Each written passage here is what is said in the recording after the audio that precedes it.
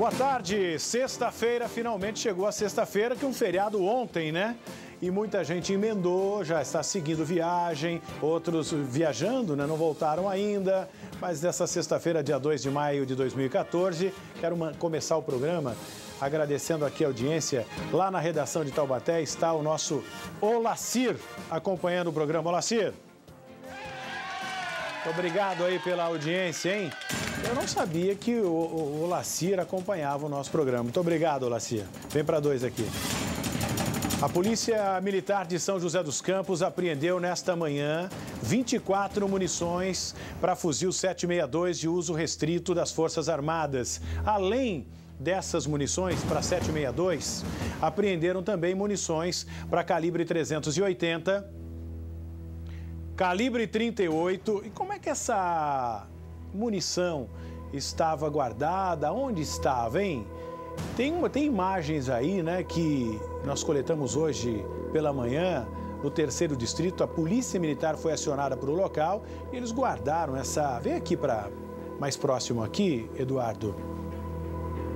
Numa caixa de papelão, eles acondicionaram essas munições aí munição de alto poder de fogo, é claro que se há munição, obviamente o sujeito ia usar essa munição em algum lugar. Olha aqui, ó. A quantidade de munição encontrada. Solta aí para a gente acompanhar. Foi feita uma ligação via 190, que um cidadão localizou esses projéteis jogados junto a uma via. Então, é, fomos até o local atender a ocorrência. No local, o solicitante não compareceu, certo? Avistamos o, essas munições, algumas defragadas, outras só cartucho, né? Pelo, pela via. Então, fizemos contato com, aqui com o DP e trouxemos para fazer a apreensão do objeto. Essa maior, o que, que é? Essa aqui é uma munição de fuzil, certo? Agora, o, precisamente assim, a, o calibre eu não vou saber especificar para o senhor. Tá, e outras munições aí, tem de 380? E, tipo de, e outro tipo de munições. Tem alguma munição boa aí? Aparentemente estão intactas, certo? Estão intactas. Não sei se pelo tempo, é, o desgaste da pólvora acaba que não acaba é, efetuando o disparo. Mas aparentemente está intacta. Que local o senhor teria encontrado isso? Que rua? Foi paralela com a Avenida Pedro Frige, a principal ali do Vista Verde. O policial Eduardo, que adentra agora ao terceiro distrito, vai apresentar à autoridade de plantão essas munições que foram encontradas na região leste de São José dos Campos. Munições que poderiam ser utilizadas provavelmente para praticar algum tipo de crime na região leste. E graças à ação rápida da Polícia Militar, as munições foram retiradas de circulação, encontradas na via pública. Vai ser apresentada à autoridade de plantão agora. O oficial, obviamente, já tomou conhecimento, o oficial da PM já tomou conhecimento também do encontro dessa munição. E como vocês podem observar aí, munições é, intactas, inclusive. Algumas não, mas a maioria delas intactas, prontas para o uso. E isso provavelmente seria utilizado para a prática de algum crime, roubo, é, roubo a caixa eletrônico, enfim, prática criminosa tirado de circulação. Parabéns à Polícia Militar que executou mais uma vez um brilhante trabalho. Inclusive, é, é, o projétil também. Você acompanha ali, ele colocando agora, isso trata-se de um projétil, né? ou seja, uma munição já um pouco mais antiga.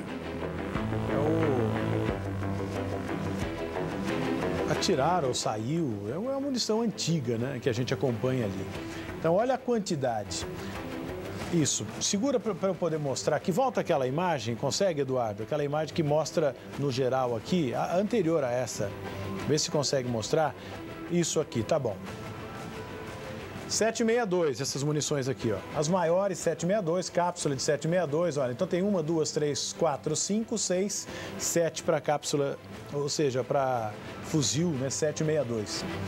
E cápsulas vazias, essas cápsulas aqui, elas podem ser reutilizadas, viu? Enchidas, né? E, vai para a mão do marginal.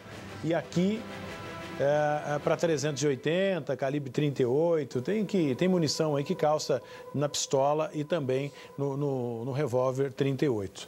Tirada de circulação. Fica agora uma incógnita. Quem teria deixado essa munição ali? Será que o próprio cara que ligou 190 para fazer a denúncia, a munição era dele? Será?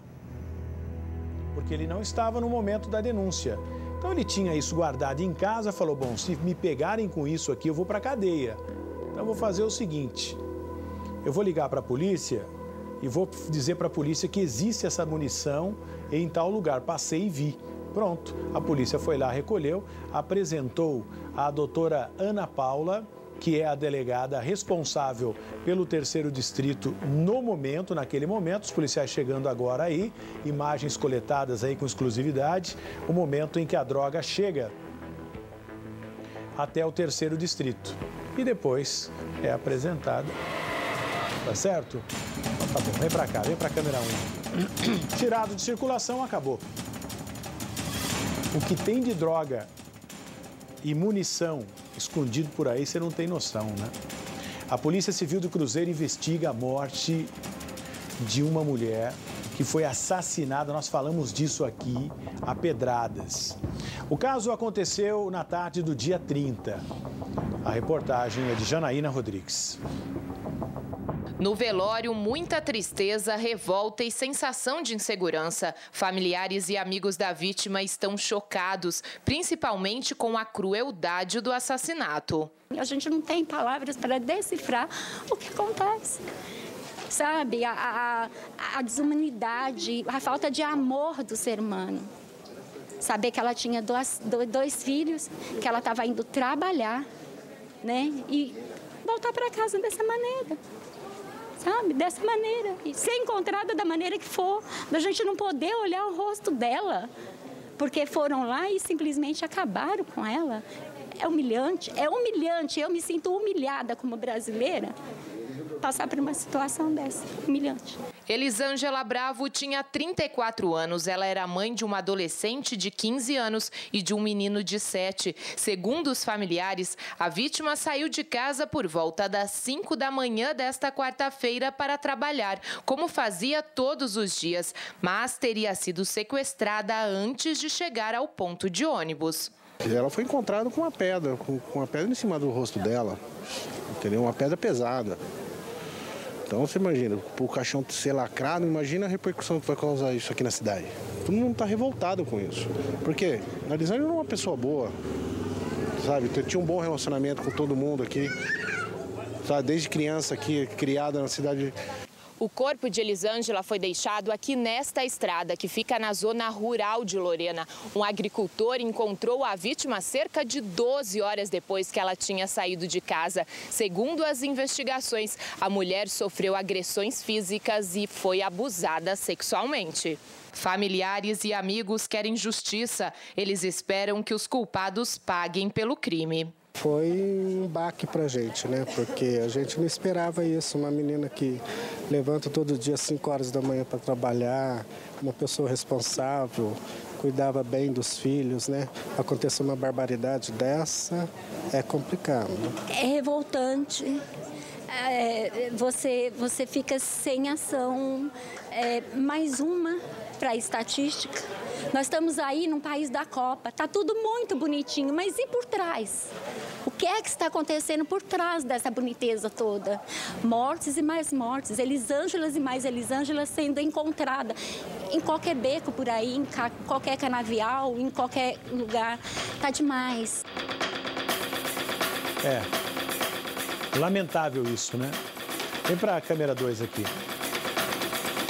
Quando ela disse que mais pessoas estão morrendo é uma grande verdade. O corpo de um homem foi encontrado em estado de putrefação em Cachoeira Paulista.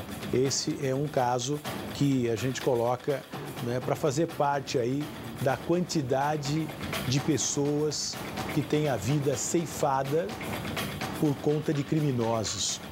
É, é triste a gente ver essa cena que você vem acompanhando agora de lágrimas, de tristeza, uma mulher, mãe de dois filhos, saiu para trabalhar, foi para o trabalho como fazia todos os dias e de repente o seu destino, cruel e traiçoeiro, de repente a sua vida é interrompida no meio do caminho. As autoridades têm por obrigação de encontrar o criminoso ou os criminosos, porque não sabemos. As autoridades têm a obrigação de dar uma resposta para essas pessoas que falaram agora há pouco, que estão indignadas, inseguras e se sentem impotentes com a falta de segurança. O cidadão de bem vive hoje atrás das grades. É o cidadão de bem que vive trancado. Na sua casa tem grades, câmeras, grades para todos os lados e o bandido fica solto pelas ruas da cidade. É lamentável. A família e aos amigos desta vítima tem aqui o nosso apoio e o Vale Urgente não esquece. Vamos entrar nesse caso. Produção, prepara que eu vou cobrar solução desse caso todos os dias. Esta é a nossa função. Pronto, já entrei no caso e vamos até a prisão desses assassinos. O Vale Urgente não esquece. Olha, eu vou para o intervalo e volto daqui a pouco para trazer uma informação, informação exclusiva. exclusiva. Informação exclusiva. Informação. A informação vem de Bananal. O que leva um funcionário público agir desta forma. Daqui a pouco, depois do intervalo. Satanás!